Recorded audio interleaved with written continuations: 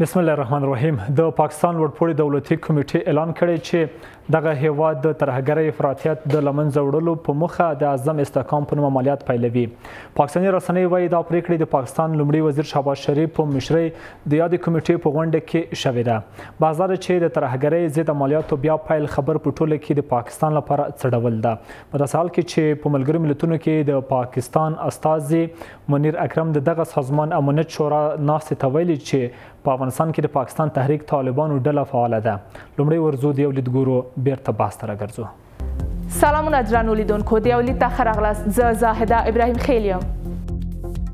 د پاکستان لوړپوړي دولتي کمیټې اعلان کړی چې دغه هیواد د ترهګرۍ او افراطیت د لمنځه وړلو په موخه د عزم استحکام په نوم عملیات پیلوي د پاکستاني رسنیو د راپور لمخې دغه پریکړه د پاکستان د لومړی وزیر شهباز شریف په مشرۍ د یادې کمیټې په غونډه کې شوې ده دغه غونډه کې شهباز شریف د ترهګرۍ ضد عملیاتو د بیا پیل خبره کړې او زیاته کړې ده چې د ټولو اړخونو په همغږي د عزم استحکام عملیات د ملي هوډ ښکارندوی نه کوي په ملګرو ملتونو کې د پاکستان استازي منیر اکرم د دغه سازمان امنیت شورا ناستې ته ویلي چې په افغانستان کې ځینې ترهګرې ډلې لکه د پاکستان تحریک طالبان داعش او القاعده ډله فعاله ده هغه ویل اسلامي امارت لا هم د دې ډلو پر وړاندې ګام نه دی پورته کړی اسلامي امارت وایي د یادې ستونزې حل له پاکستان سره دی تر څو د خپل کور ستونزه پر خپله حل کړي د اسلامي امارت وایي ذبیح الله مجاهد وایي دوی چاته اجازه نه ورکوي تر څو افغان خاوره د نورو هیوادونو پر وړاندې وکاروي بیا هم خرغلاس ستړي مشه په باس کې را سره د ژوند فکری ګوند مشر هغلی سلیم پیګیر صاحب دلته په سټډیو کې ده او د نړیوال اړیکو کارپو د سکایپ له لارې سره سید بلال احمد فاطمی صاحب ده ملمون تاسو ته خرغلاس ته ستړي مشه پیګیر صاحب باس هم لتاره پیلوو پاکستان د ترهګرۍ د لمنځه وړلو په موخه د عزم استحکام په نوم عملیات پیلوي ستاسو له نظره دا عملیات څه ډول دي سلام خدمت شما لالزوی صاحب جناب فاطمی صاحب گرامی و بینندگان عزیز تلویزیون شما ببینید وقتی که پاکستان اعلامیه ها را میکنه من دوران سال 1357 یادم میاد خب وقتی که مجاهدین خال خال در قریه ها پیدا شده این اما تو عملیات ها اعلان می شد بلاخره یک لک بیست هزار قوای شوروی آمد و کشتن بود بستن بود بمبارد بود ولی هر روز دولت ضعیف مجاهدین قوی تر می شد و ما باور دارم که امروز که پاکستان اعلان میکنه ای فقط فقط امو مجاهدین که وجود داره اونها را قوی و قوی تر می سازه هر پاکستانی ها پنجابی ها بالای مردم قبایل ما ظلم بکنن اما قدر اونا قوی میشن اما قدر اونا منسجم میشن علیه پنجابی ها میبینید امی کلمی تروریست تروریزم نیفهم که بکیر اطلاق بکنیم هر کشور از خود تعریف داره در اینجا اسرائیل مبارزین آزادی بخش و مجاهدین فلسطین هم تروریست میگه امریکا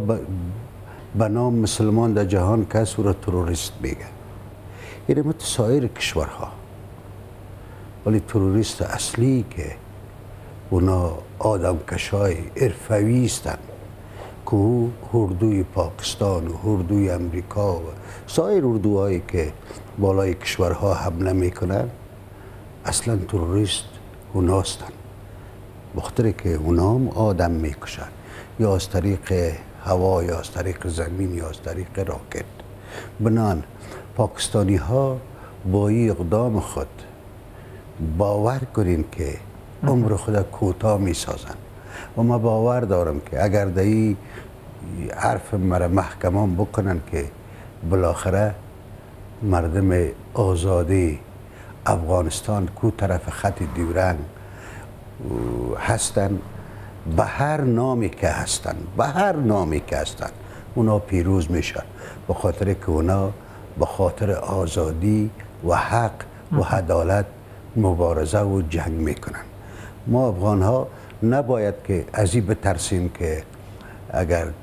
کشورهای مانند پاکستان دیگر کشورها بگوید که افغان از اونا پشتیبانی میکنه تا هر جایی که افغان است مربوط افغانستان است و افغان ها باید برادروار از هر افغانی که در زیر سایه هر کشور بیگانه و ظالم زندگی میکنه ما دین ماست که از اونا دفاع بکنیم و اونا را کمک بکنیم پاکستان به این اعلام خود تکرار میکنم عمر خود کوتاه کوتاه تر ساخته و می سازه به خاطر که پاکستان کشوری نیست که مردم اصیل داشته باشه که اونا بتانن مردانوار از خاک خود دفاع بکنن ببینید هر کشور که مردم اصیل داره مردم واقعی داره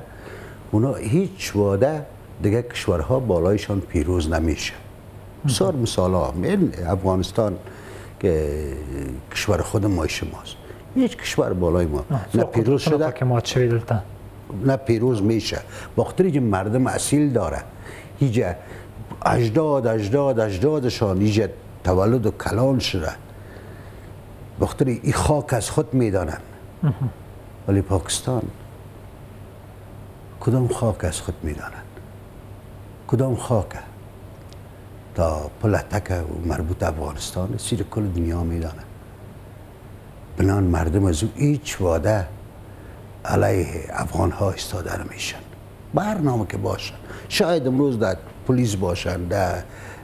خو این مسئله پاکستان باشه ولی من روزش برسه باور دارم اونا با مردم افغانستان یک جای میشه و از خط دیورنگ به او طرف مربوط هندستان است دغه پیګر صاحب واضح خبره ده معلومه ده په ټوله کې دوی بینه منې غاړه ورته نګدي ولی تازه دغه خبره چې مالیات به پایلوي ستاسو له نظر دا مالیات به څه ډول وي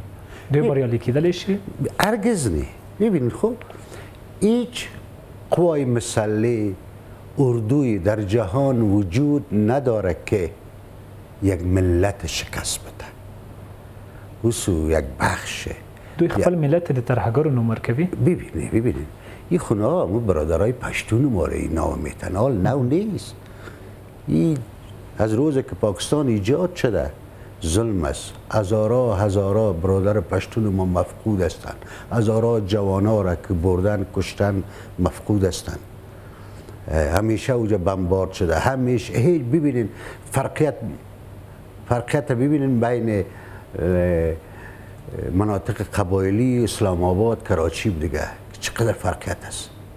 باختر کجا خاک شان نیست میفهمند که فردا افغان ها خاک میگیرند در اوجه هیچ نوه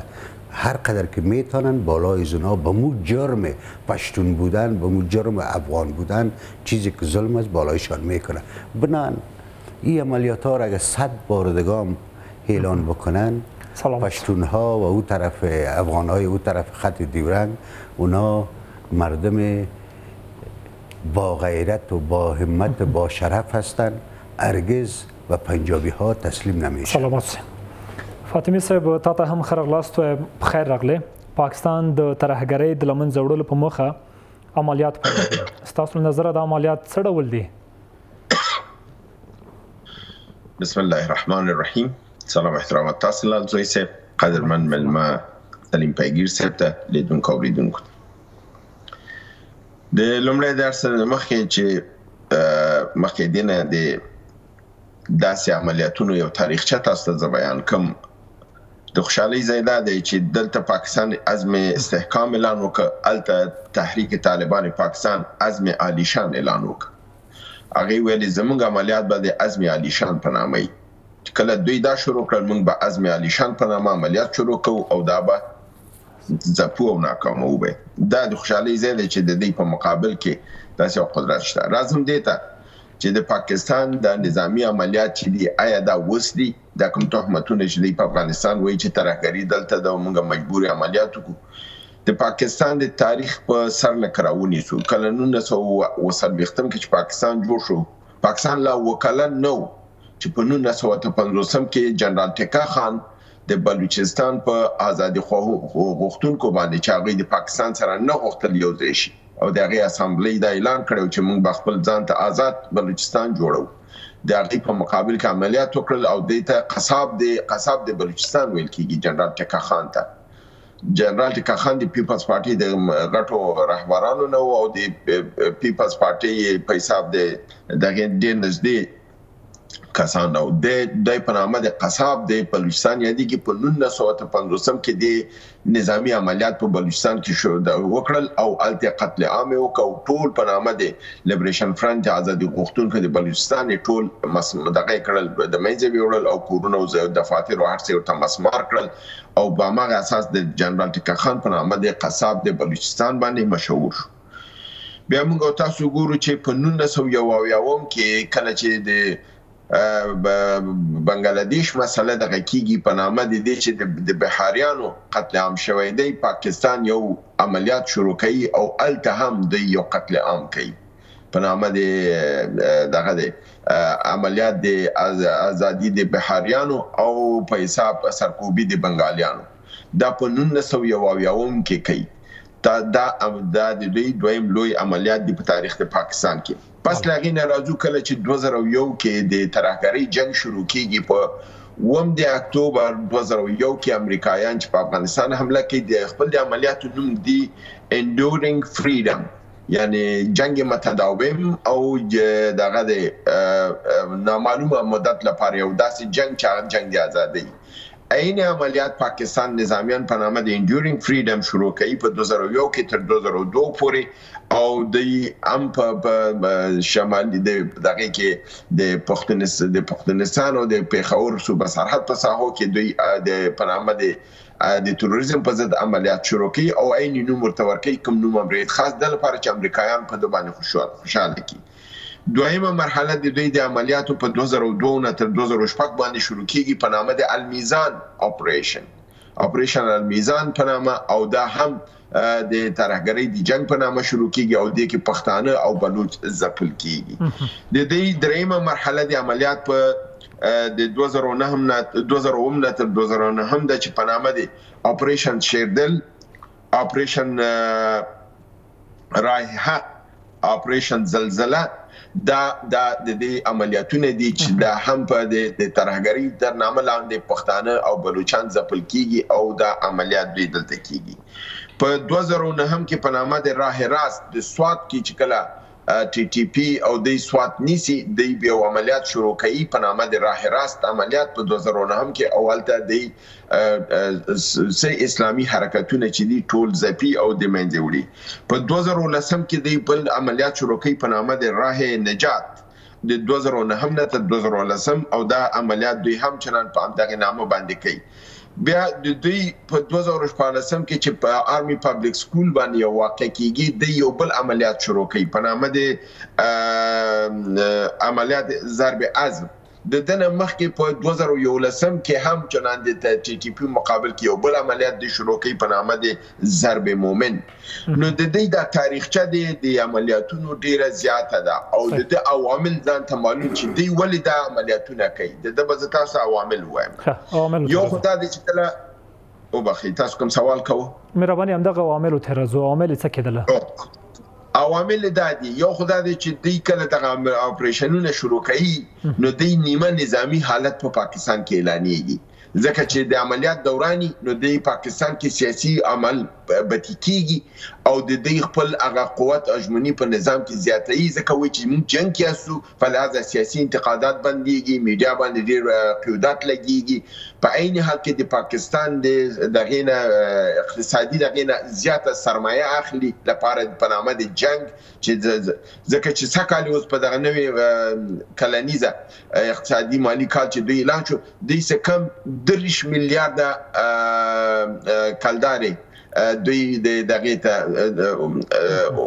وبخښي. دوه زره او دوه زره او درې سوه ميليارده يعني دوه ټريليونه دوی دې دغې ته مختص کړلې اردو دې پاکستان ته مختص کړلې د ده بر علاوه هم دوی نورې پيسې بيا غواړي د ده بر علاوه دوی نورې پيسې هم بيا غواړي او په بعين حال کې دا عمليات دوی ده لپاره هم شروع کوي چې دوی د امريکې نه هم بيا په دې پيسې اخلي د چين نه هم په دې پيسې اخلي دا اوس چې شهباز شریف چې چین ته تللی و هلته د قراردادونه چې وشو هغه کې یو اختصاصي او مختص یو بل قرارداد و چې هغه په نامه د قرارداد امنیتي و او هغه قرارداد امنیتي په منځ د اردو د پاکستان او چین کې امضا شو چې د ګلګت بلتستان د کشمیر نه به تر ګوادره پورې امنیت به نیسي او د لپاره به چینایان علیده یو بودیجه ورکوي په لحاظه دا عملیاتونه چې سرپنامه دوه هدفه لري، اقتصادي او بین المللي پشتوانه پیدا کول او په د ننه کې نظام تضعیفول او په عین حال کې مخالفین، پښتانه او بلوچو ځپل او د منځه وړل او د دوی په حساب سرکوبي کول دي ترڅو پنجاب خپل هغه ژمني او خپل طاقت چې دی د پښتنو په سیمه کې چې د ډیورنډ کرښه منطقه ده او هغه ته معلومه ده چې پښتانه خپل ډیورنډ کرښه غواړي نو دی غواړي ورو ورو ایتنیک کلینزنګ کوي چې بین المللي قوانینو لاندې جرم دی دی دا پښتانه وژني په تیرو شلو کلونو کې دی د یو لک نه زیات پښتانه ځوانان وژلي دي او د دی په حساب قلمه قمه کړي دي صرف د ترهګرۍ د نامه لاندې. سلامت سه فاطمي صاحب ډيره زياته مننه. درنو لیدونکو لنډه دمه لرو بحث دوام لري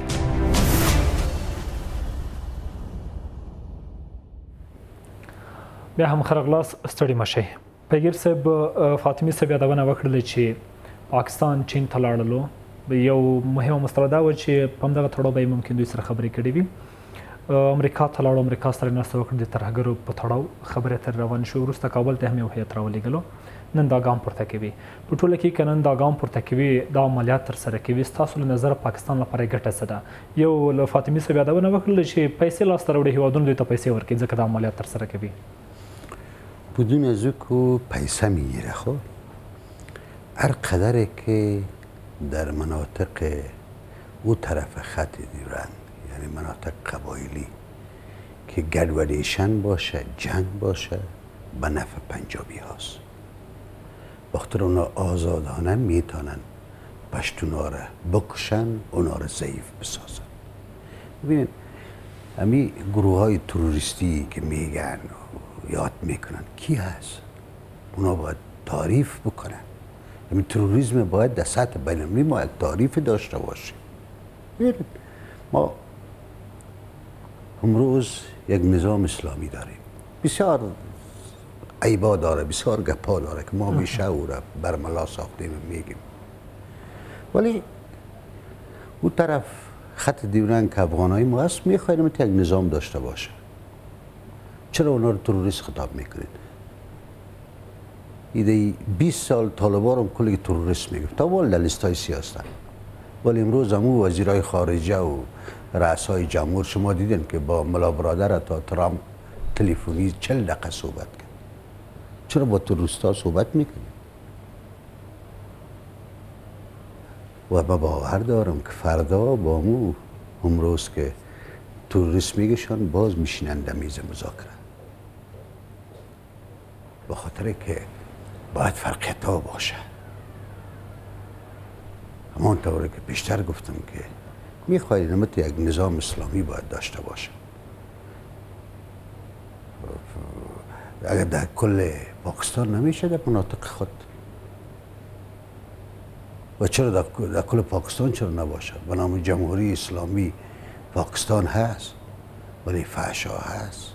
يعني فکر کوي چې نن دوی سره که زیاتۍ تر سره کیږي اذیت لاندې هم دي دغه خلک فکر کوي چې دا خلک د اسلامي نظام په لټه دي تر څو دا راولي او دوی به یې منع کوي مخه به یې نیسي ببینید خو یک بار افراد اشخاصی که جنگ مبارزه میکنن باید به او آشنا شویم کی هستن پاکستانی ها دکتر پشتونه در اسلام آباد کراچی جایی میته از پیش استفاده میکنه او را میگه پاکستانیستی ولی او که نماز خواند او که واقعا جهاد کرد او رو میگه تو تروریست هستی چیزی که بنفش باشه از او قهرمان جور میکنن مثلا یک چند وقت کاکر آوردن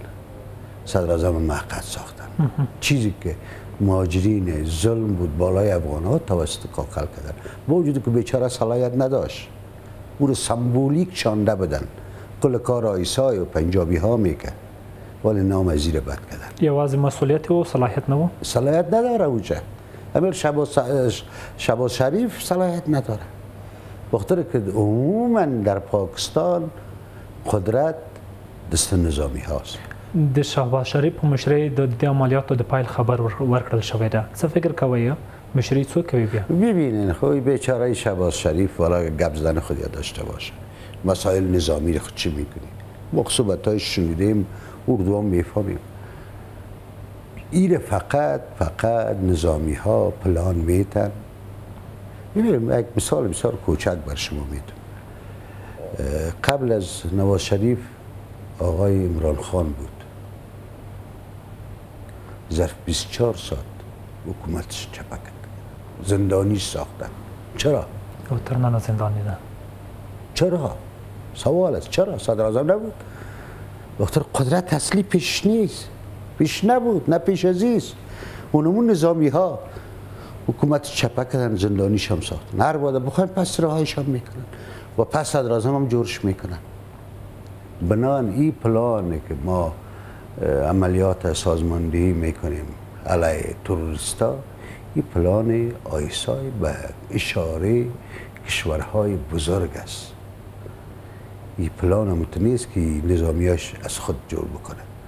این پلان جور میکنه به اشاره کشورهای بزرگ که هنوز که هنوز از پاکستان از اونا از حرف از اونا از نصیحت ها از اونا دوری کردن میتونه د بل پلاس جوړ شوی پلان ګټه به یوازې دومره اوسېږي چې پیسې به لاسته راوړي یو توانونه به یې څه وي د پاکستان لپاره ببینید جنگ در مناطق پشتو نشین است پنجابی ها در طول امی 20 سال که در پاکستان جنگ است کدام انفجار اگر در ظرف دو سال یک انفجار یا دو انفجار در اسلام آباد کراچی شده باشه دیگه هر روز جنگ ها در او طرف خط دیورنگ است در مناطق پشتون شید در مناطق بلوچ بلوچ قربانی هم در خلق دیر اختیار سر وقت قربانی یا یا را باید بکشنی چرا اگر جنگ در سراسر پاکستان نمیشه چرا در پنجاب نمیشه که یگانه تکنیک پنجابی ها میست که جنگ سازماندی میکنند در مناطق پشتونشین که از هر دو طرف کشته میشه پشتونا و اونا خوش میشن پشتونا ضعیف شوه پشتونا کشته شوه جوانایش فرار بکنه بله. مردم ضعیف کجا حضور داشته باشه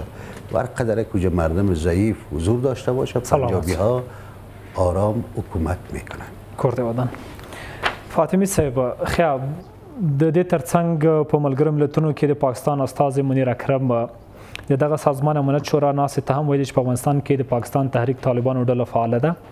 او یادونه یې کړې ده د دومره ناستو سره سره د پلاو راتګ د احزابو راتګ د ملا فضل الرحمن راتګ کابل ته او قانع کېدل او بیا تلل نورې نورې خبرې کول لکه ملا فضل الرحمن یادونه کړې چې هڅه یې وکړه چې کابل اسلام آباد اړیکې ورغې خو بریالی نه شول وروسته بیا یادونه وکړله چې ټي ټي پي د پاکستان ستونزه د افغانستان پکې ښکیل نه ده ولی پوځ دی بیا بل څه وایی پاکستان پوځ احزاب یو څه پاکستان پوځ بل څه وایی نه دی قانع شوی څه ډول قانع شي د خلک وای دا ګوره دې نشي قانع کېدلی د هغې دوه عوامل دي یو خدا دی چې دا د دې خپل اجنډا نه ده دا اجنډا پردی ده امریکایي ده او هغه یې په تطبیقوي بله دا ده چې دا اجنډا پنجابي ده په مقابل د بلوچ، سندي او پښتنو کې ده. دا دا درې قومه چې دي چون دا درې واړه سندیان سندودش غواړي، بلوچان بلوچستان غواړي او پښتون پښتونخوا چې ده دا افغانستان سره خپل الحاق غواړي. نو دوی ته دا معلوم دی نو پنجاب چې دی، له پاره د خپل د بقا او د خپل د ژویدغی له پاره چی اکثریت قاطع یعنی اویا فیصده د پاکستان اردو چی ده هغه د پنجابیانو نه جوړیږی دا دیرش فیصده نور چی دی دی کی بیا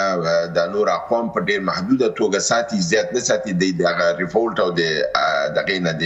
قیام نه ډاریږی نو د دی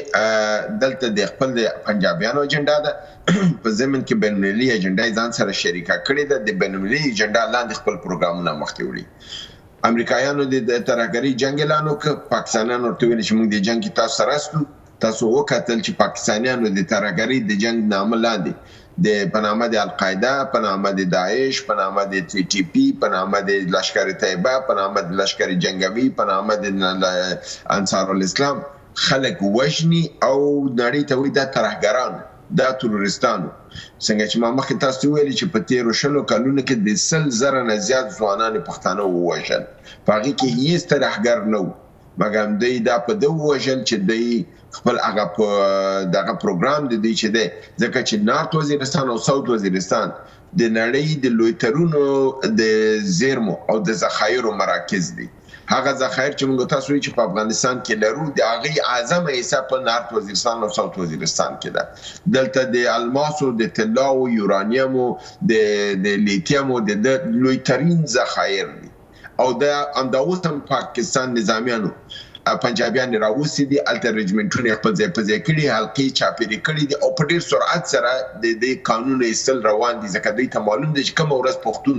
قیامو کي دی نه دځه خیر پاتي کیږي نو دده لپاره دی په سرعت سره هلته لګیا دي ددی هدف هم دا دی چي پښتانه تضعیفه کړي خپل نظام قوي کړي او ددغه لپاره دی دا په حساب عملیاتونه اعلانوي او څنګه چي ما تاسو ته دده دا تاریخچه چي وویله چي دا اوس نه نه ده دا د نولس سوه اتو پنځوسم نه دا عملیاتونه دی روان دي په طول ددغه پنځوسو کالو کې یا شپېته شپېته کالو کې څه د پاسه پنځه شپېته کالو کې دوی د عملیاتونه په تسلسل سره په په دغه سیمو کې کړي دي په کراچۍ کې تاسو ته معلومه ده د ضیاءالحق په وخت کې عملیات شروع شول او کم از کم شل پنځه ویشت کاله کراچۍ په اضطراري حالت کې وه یعنې کراچۍ کې امن نه و په په بلوچستان کې همدا اوس د بلوچستان ذخایر چې دي د بلوچو خلکو په اختیار کې نه دي سره له دې چې ایټین امنډمنټ قانون د پاکستان چې دی هغه په همدې راوستل شوی دی چې حقوق د ولایتونو ولایتو ته ورکړل شي د فدرال سیستم لاندې اما پنجاب ته ورکول کیږي هغه حقوق مګر هم بلوچستان ته هغه حقوق نه ورکول کیږي همدا اوس چې د علي امین ګنډاپور کوم جنګ د مرکزي حکومت سره روان دی او هغه ورځ په خپله لاړه او ما ګريډ د برقونو مرکز د برق نه برج برق ته لاړه او برق يې خپل سيمې ته خوشې کړ دا په حساب د يو وزير اعلی د خوا نه د مرکز د امر نه عدم اطاعت و او بغاوت و چې ده وکړ لپاره څه چې هغې ويل زمونږ حقوق مونږ ته نه راکول کيږي بله او په فاطمي حدود صاحب ديرش ددې ترڅنګ دلته دا پوښتنه هم راپورته کيږي خیا پوز خو وای تور لګوي او امریکا پلان د هغه په لاس جوړ شوی پلان ده د څه تر سره کوي او پر عملی کوي ګوندونه څه ډول دي ګوندونه وخت نه وخت مختلفه ګوندونو څخه راپورته کیږي چې د پاکستان خپل ستونزه باید پر افغان خاوري افغان خاور پر تور نشي لنډه بیلګه د مولا مولانا فضل الرحمن څو ورځې وړاندې یادونه کړې و چې د پاکستان خپل ستونزه افغانان د مت تور نه وي بلکل همداسې ده خو د پاکستان په ګوندونو کې اکثرا ګوندونه چې وګورئ په ظاهره چې کله یو لوبه کوي هغه ښکاري چې دوی د خواغې شاته هم د ایسای لاسي اوس تاسو محمود خان اڅکزي ته ګورئ د یو خونه د افغانستان پلوي لري د پرلت په طرف ولاړ دی مګم دننه دی د نظام د پاکستان سره یو ځای دی هغه ګوند چې د د په سخت شرط ترین مخالفو تحریک طالبان پاکستان د عمران خان هغه سره لاړ یو ځای شو دغه فضل الرحمن چې دی هغه به عمران خان ته يهودي ویلي او عمران خان به دته مولانا پیډر ډیزل به ورته ویلي دا دواړه سره لاړل یو ځای شول په مقابل کې د د شاته د پاکستان د نظامیانو لاسونه دي او د پاکستان نظامیانو کې وز پس له دی اویا کالو کې اولین ځل دی چې هلته هم یو سپلټ یو تقسیم ښکاری چې یوه ډله یې دا چې یو فاطمی صاحب چې اڅکزی صاحب هم یادونه کړې وای کدا ځلې پر افغانستان جګړه تپل کېږي سیمه به د اور لمبه شي دا یادونه هم د کړې ده کاملا دا خبره دقیقه ده همداسې ده دغه دغه عملیات چې دوی شروع کړي دي لکه څنګه په سریزه کې چې پیګیر صاحب ویلي چې هر عملیات دوی کړي دي که دا په نامه د استحکام پاکستان جوړی که په هر نامه په عوض د دې دا استحکام پاکستان چې دا په حساب عدم استحکام د پاکستان زیاتیږي دا زموږ په ګټه ده ان شاء الله د چې څومره د عملیاتونه کړي پیسې پاکې سي تاسو تاریخچه ته وګورئ پاکستان کې هم دا اوس ما دې د مکمله تاریخچه د دې د دغه عملیاتونو کتله دلته چون د برنامه گنجائش ډیر کم دی د ده د هر دغې په دې عملیات باندې څومره میلیارډه پیسې لګیدلې دي، څومره کسان په کې وژل شوي دي، څومره نظامي تلفات په کې راغلي دي، که دا تاسو وګورئ په تدریج سره دا د پاکستان نظامي حالت ته، اقتصادي حالت ته، سیاسي حالت ته دغه ټولو عملیاتونو ضربه رسولې ده، ګټه یې ورته نه ده کړې، په ظاهر کې دی خوشحالیږي اما په باطن کې دی دی ته دا ضرر دی او د افغانستان د لویې داعیې لپاره چې هغه د ډیورند د کرښې داعیه ده هغې ته د افغانستان لپاره ئې د منافع او ګټه ئې زیاته ده دا چې دی فرضاً دا لوبې کوي مولانا فضل الرحمان خو ډیر په یو ښه الفاظو کې دا خبرې وکړې هغې وویلې چې د افغانستان په مقابل کې امریکې ته اډې تا ورکړلې د افغانستان په مقابل کې د ډرون طیارې استعمال تا ورکړ افغانستان ته د تباهی لپاره د د کراچۍ نه تر پېښوره پورې لاره او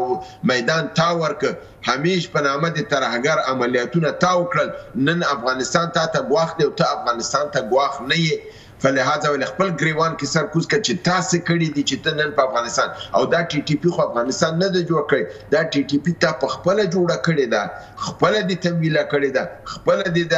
دغه کړې وه لپاره دې چې په افغانستان وهې نن ستا خپل غاړې ته ګریوان ته د لاس رسېدل ته دا په افغانستان باندې دا کې نو په دې کې ښکاره خبر ده چې کچې ته پاینده کې موضوعات مخ کې زی محمود خان اسکزی او د پښتونخوا او د دې دغه موقف خو واضح معلوم دی چې د افغانستان سره ودرېږي خو زه تاسو سره په یقین سره ویل شم چې مولانا فل الرحمن ک آی اس آی ونه وجنی او ژوندې پات شي که چېرته داعیه دې د ډیورنډ کرښې او د پښتونخوا اوچتېږي نو اولین کس به چې د افغانستان سره ودرېږي هغه به مولانا فضل الرحمن درنو لیدونکو لړنه د ملرو بحث دوام لري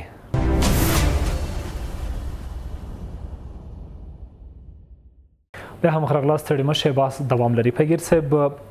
پلاوی راولېږل شول کابل ته دوی چین ته لاړو پاکستان امریکا ته لاړو روسیې او ترکیې سره کېناستل ګډې خبرې وکړې چې ټیپي ستونزو پر وړاندې افغانان یې پکې تورن کړل بالاخره دا خبرې ورسره جوخت وله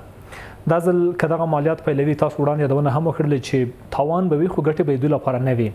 څه فکر کوئ چې دغه عملیاتو سره سره به دوی له دغه تور څخه لاس واخلي ترڅو اسلامي امارات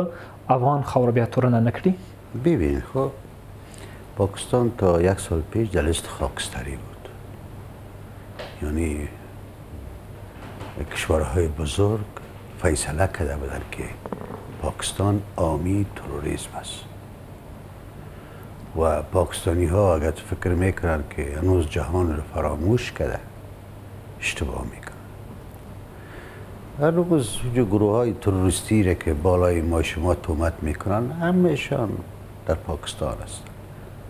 گروه هایی که علی افغانستان استفاده میکنن گروه هایی که علی دیگر کشورها استفاده میکنن بنان هر قدر که پاکستانی ها دلای کالای سفید خود بپیچانند ولی بازم مردم جهان جهان یا رهبران کشورهای جهان بالای پاکستان به بسیار مشکل اعتماد میکنه آه تنها کشور امریکا و انگلیس پلانای خود از طریق پاکستان بالای منطقه تطبیق میکنه و پاکستان مثل خس... تخته خیز باره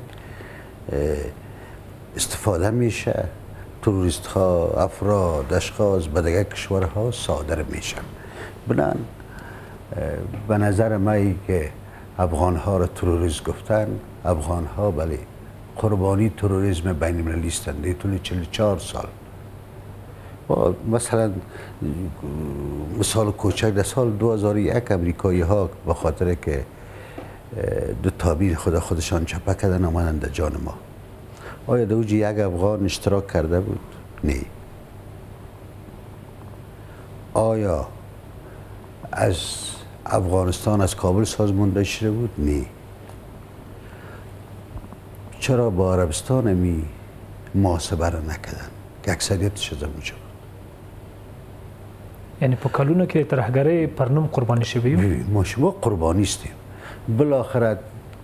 قوتای خود گرفته آمدن که ما القاعده را میزنیم او را میزنیم رهبر القاعده از کجا پیدا شد از اسلام آباد پس پاکستان میخواهد که افغانها را بدنام و خود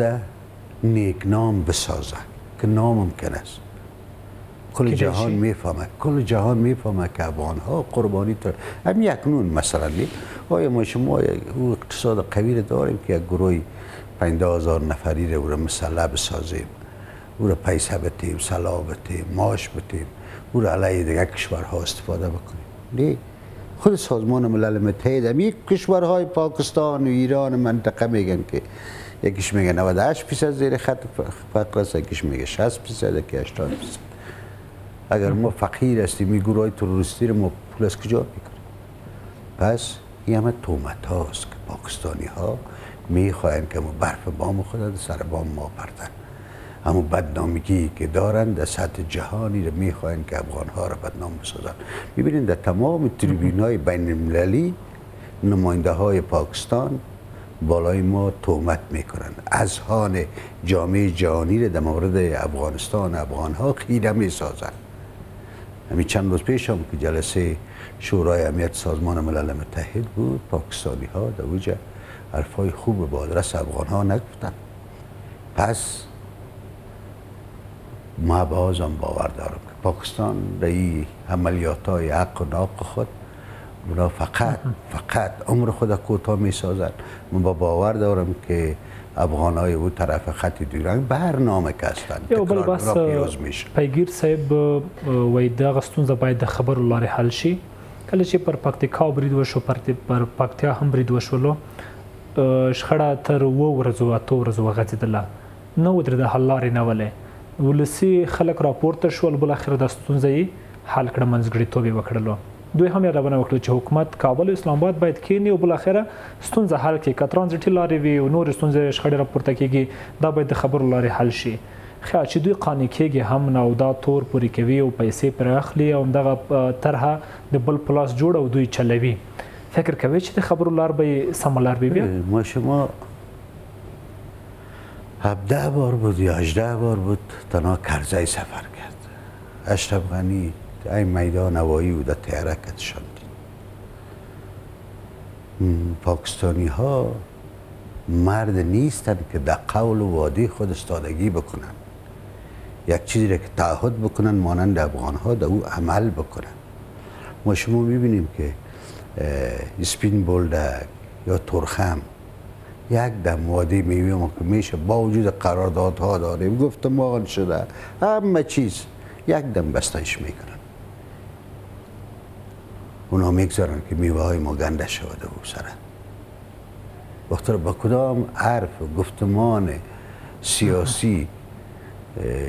یا تی تی پی افغان ها باور بکنه بالای پاکستان بخاطر اونا انسان های بی تعهد هستند تعهد ندارند پس چگونه گفتمان سیاسی با پاکستان شود چگونه فکر بکنید که همه چیز قبول کردن امضا کردن ولی عملی نمیکنن هزار بهانه ها را جور میکنن همراه ما بسیار پروتوکول ها داره پاکستانی ها ولی هیچ کدامش عملی نمیکنه بنا هر فرد که هر حکومت که بالای پاکستان اعتماد میکنه بله. او به احترامی به مردم افغانستان میکنه هیچ حکومت نباید بالای پاکستان اعتماد داشته باشد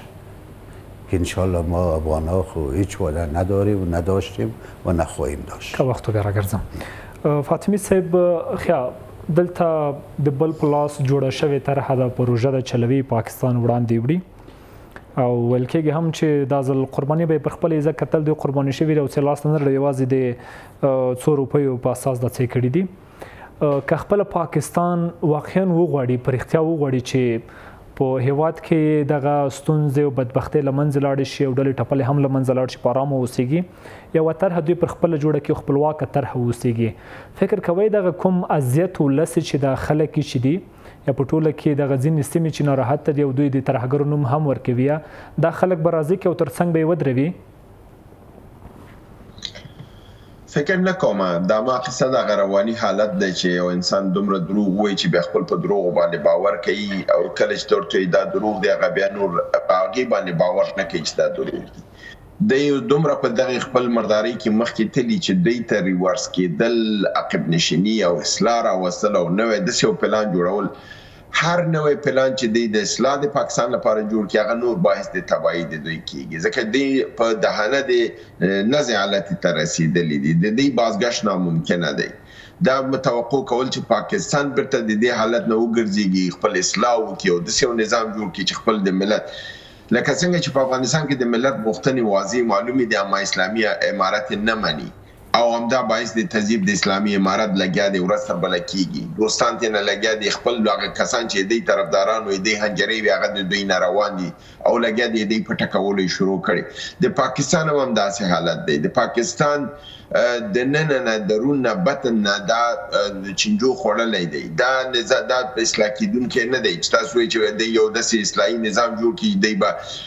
عدالت راولي، نظام به دموکراسۍ خواته ويسي، د اردو دخالت به ختم شي او پاکستان به واقعاً دموکراسۍ باندې عمل پيرا شي، د هندوستان سره به خپل روابط استواره کړي، د ايران سره به روابط استواره کړي، په کشمير کې به مداخلې بندې کړي، په افغانستان کې به مداخلې بندې کړي.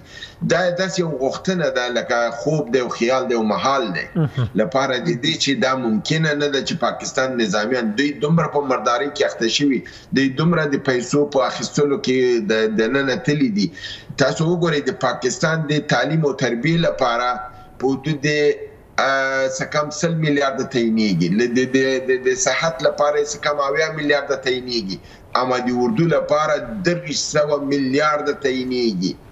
دا د دا د پاکستان د هغې بودجې په حساب څلورمه حصه ده چې دی اخلي. دا ټوله څه د پاسه دوه ټریلیونه دوی اخلي نو خبره دا ده چې د دوی د دوی د د په د په دا رقم جنرالان نظامیان عادت شوي دي دوی د جنګ خلک نه دي که دوی د وانه د پاکستان د د د ایران نه یا هند نه یا افغانستان نه که عملیات وشي دا د جنګ خلک نه دي او نه جنګ ته تللی شي لپاره دې چې عسکر خو جنګ ته اماده کړي دي خو جنرالان جنګ ته اماده نه دي ځکه د جنرالانو کورونه په پاکستان کې نه دي د جنرالانو کورونه بیرون دي نظام د دوی په لاس کې دی دوی که تصمیم ونیسي د اول باید دا تصمیم نیسي چې اردو به نور مداخله نه کوي ایا دا کار دوی کوي نه یې کوي هرګز یې نه کوي اول کار چې دوی وکړي دوی باید خپله بودیجه د نظامي کمه کړي تر څو په حکوملت باندې بوج چې دی هغه بوج کم شي ایا دا کار دوی کوي په ژوند کې دوی دا کار نه کوي دلته چې دوی دا نه کوي او دا بدبختوي کې به دوی خپل راګیر وي خه په هر صورت دی اوس ورځو باز به هم رټول وو حل لارې څه کېدل شي ترڅو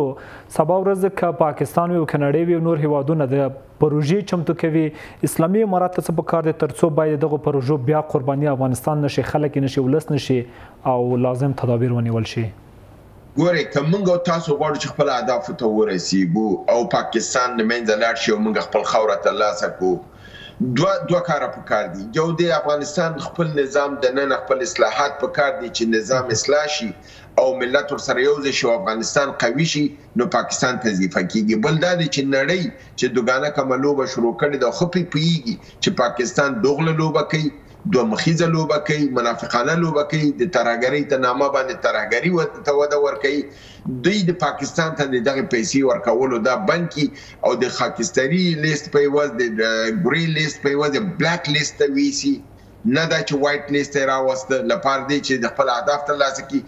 د همیش پاکستان سره تاسو وګورئ هم ځه کیږي کله چې د په امریکایانو دې ضرورت کیږي فاطمي صاحب وخت کم ده ډیره مننه په لنډو کرتو وایې.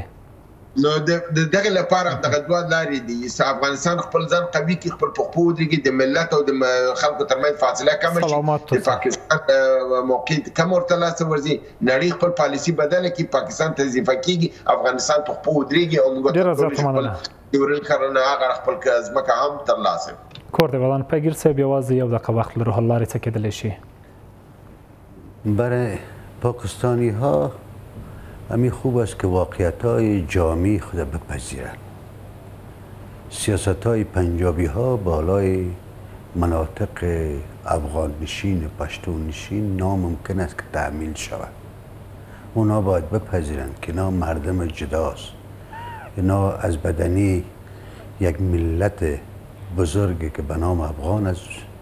جبران جدا شده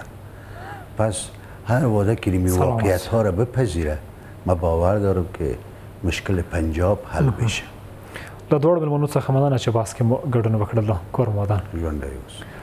درون لیدونکو لیدونکو تاسو هم مننه باس پر همدې ځای پای تر سو تر بیا خې چاره